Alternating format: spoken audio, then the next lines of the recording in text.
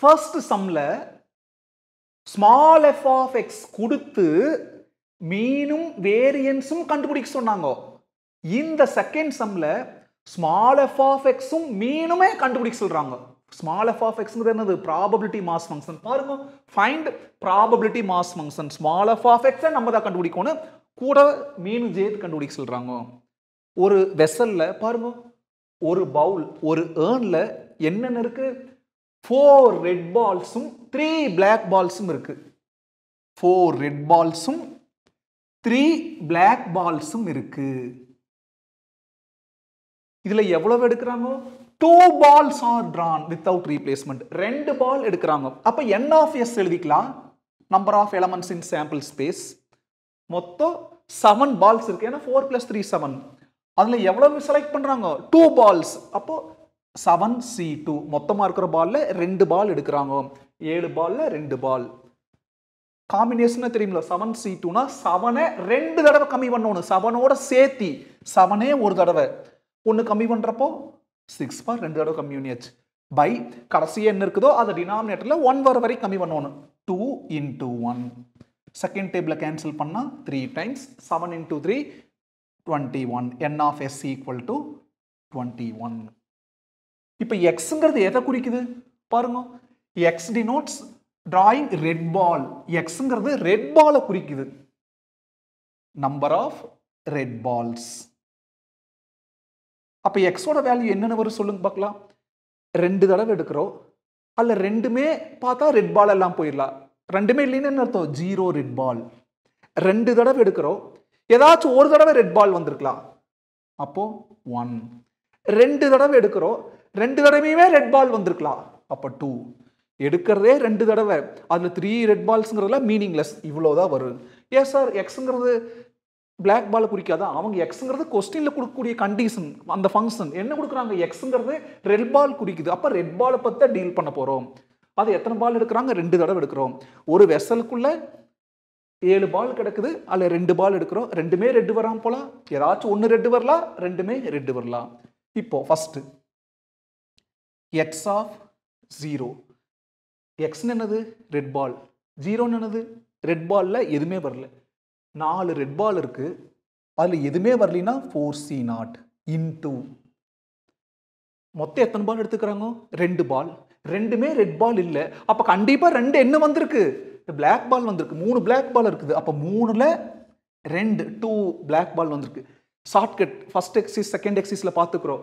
நடுவில் மல்டிப்ளிகேஷன் வரப்போ நம்மளது எப்படி கரெக்டாக தப்பான்னு கண்டுபிடிக்கிறது? இந்த ஃபஸ்ட்டு ஃபஸ்ட்டு ஆட் பண்ணுங்கள் ஃபோர் த்ரீ ஆட் பண்ணுங்கள் செவன் பாருங்கள் என்ன ஃபேஸில் இருக்கிற செவன் ஃபஸ்ட் அப்படியே வந்துருக்குது இந்த செகண்ட் செகண்ட் ஆட் பண்ணுங்க ஜீரோ ப்ளஸ் டூ டூ பாருங்க இந்த லாஸ்ட் அக்கற செகண்ட் அக்கற டூ வந்திருக்கு. இப்போ என்சி நாட்க்கு என்ன ஃபார்முலா ஒன் ஒன் இன்டூ த்ரீயே டூ டைம்ஸ் கம்மி பண்ணுங்க. த்ரீ ஒன் டைம் அதை விட ஒன்று கம்மி பண்ணால் டூ பை கடைசி ஏக்கிறது ஒன் வரைக்கும் two into one two two cancel one into three three அப்புறம் எக்ஸ் ஆஃப் ஒன் எக்ஸ் என்னது ரெட் பால் எத்தனை ரெட் பால் ஒரு ரெட் பால் நாலு ரெட் பால்ல ஏதாச்சும் ஒரு ரெட் பால் வந்திருக்கு. அப்போ ஃபோர் சி ஒன் இன்டூ மொத்தம் ரெண்டு பால் ஒன்று ரெட் பாலாக போயிடுச்சுன்னா இன்னொன்று என்னவோ இருக்கு? கண்டிப்பாக பிளாக் பாலாக இருந்திருக்கு. அது மூணில் ஏதாச்சும் ஒரு black ball three C one ஃபோரை ஒரு தடவை கம்மி பண்ணால் ஃபோர் பை ஒன் கீழே இருக்கிறது ஒன் வர வரைக்கும் கம்மி பண்ணணும் எழுதினாலே ஒன் இல்லாட்டி என்சி ஒன்னா என் ஃபார்முலா என்ன வேணால் பயன்படுத்திக்கோங்க.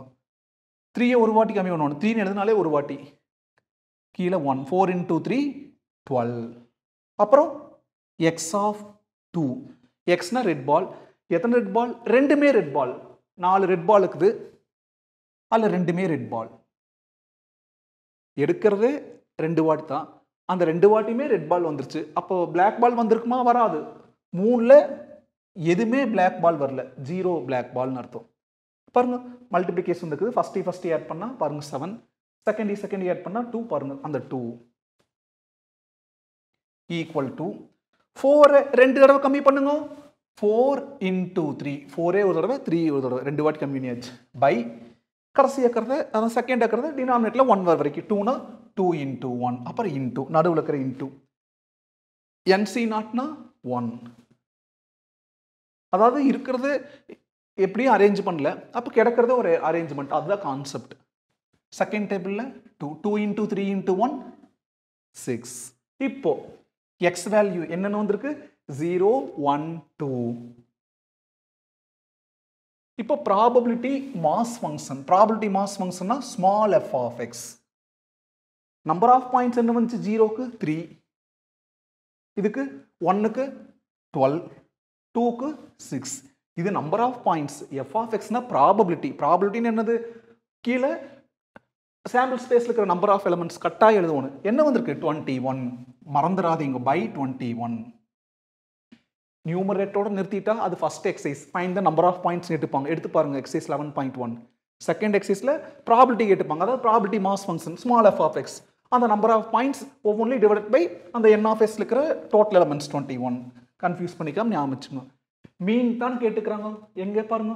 மீன் கேட்டுக்கிறாங்க எக்ஸ்ட்ராவாக மீன் என்னது? இ ஆஃப் எக்ஸ் எழுதிக்கிறேன். மீனுக்கு என்ன formula e of x e of எக்ஸ்னா இது கவுண்டபிள் தானோ? கவுண்டபிள்னா சம்மேஷன் யூஸ் பண்ணணும். Summation x into f of x அப்போ எக்ஸையும் எஃப் ஆஃப் எக்ஸையும் மல்டிப்ளை பண்ணி எல்லாத்தையும் ஆட் பண்ணணும். எக்ஸ் இருக்குது எஃப் ஆஃப் எக்ஸ் இருக்குது. அந்த ரெண்டையும் என்ன பண்ணணும்? மல்டிப்ளை பண்ணணும். அதுக்கு மேலே இதை சிம்பிளிஃபை பண்ணிக்கலாம். ஆர் எஃப் ஆஃப் எக்ஸ் பாருங்க தேர்ட் டேபிளில் சிம்பிளி பண்ணுங்க. ஒன் பை செவன் இங்கே தேர்ட் டேபிளில் ஃபோர் பை செவன் தேர்ட் டேபிளில் சிம்பிளி பண்ணால் டூ பை செவன் இப்போ என்ன கண்டுபிடிக்கலாம்? X into f of x அதாவது எக்ஸையும் எஃப் ஆஃப் எக்ஸையும் மல்டிப்ளை பண்ணணும். X f of x multiply பண்ணுங்க. Zero into one by seven zero one into பாருங்க எக்ஸையும் எஃப் ஆஃப் எக்ஸையும் மல்டிப்ளை பண்ணுறோம் ஒன்னையும் ஃபோர் பை செவனை மல்டிப்ளை பண்ணால் one into four by seven four by seven two two by செவனை multiply பண்ணுறோம் two into two by seven four by seven இதுக்கு என்ன வேணும்? சம்மேஷன் அதாவது டோட்டல் வேணும்.